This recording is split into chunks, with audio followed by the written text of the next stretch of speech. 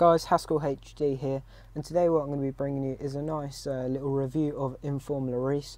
So Lloris is an 87 rated goalkeeper. Before we get on into the review, if you do want to buy some cheap coins, please check out the link in the description. Also check out Simply FIFA for a good FIFA community. They're really helpful and will help you no matter what.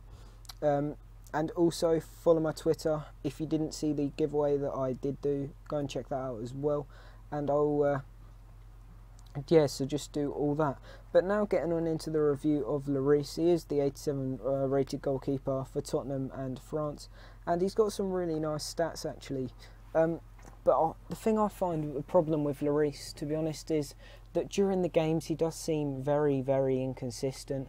I mean, one game he'll make, uh, one minute he'll be making a brilliant, brilliant save, and then the next, someone will just be doing a he will have done a poor shot and he'll just pad it out into the path of an attacker or something like that. It really uh, does get quite annoying, but his stats are 92 diving, which, to be honest, for a goalkeeper, not much should get past him because that's the same as what Diego Alves has. But 87 handling, that also, 87 handling means you, that you should be able to, he should near enough catch everything and not pad it out into the path of the defenders, which when he was doing that was very annoying.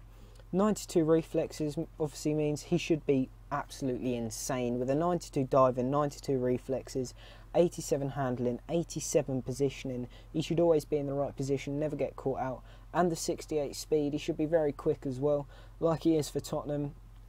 If a through ball's played out uh, against Tottenham, he will actually sprint his heart out to get there. Also, the 75 kick in, he should be able to kick a ball pretty good as well and he did cost 417,000 coins. And in game, to be honest, I couldn't really tell that. I would prefer to have someone like Mandanda in goal or Reina, just because they perform near enough as well as him, and they're a fraction of the price. Like Mandanda will cost you 2k. I don't know. Reina will cost you about three, 4k, but Inform Reese will cost you 417,000 coins. But I suppose if you're need him there. I'd just get his normal, to be honest, unless you want to make a full informed team, and he is the only option. But from my opinion, he's not really worth it. But then Lloris has never played well for me, but he does play well for some other people. So it just really depends on how he plays for you, to be honest, because he'll play amazing for some people when I play against him, but then for me, he does just play absolutely awful, which is a little bit annoying considering he is that expensive.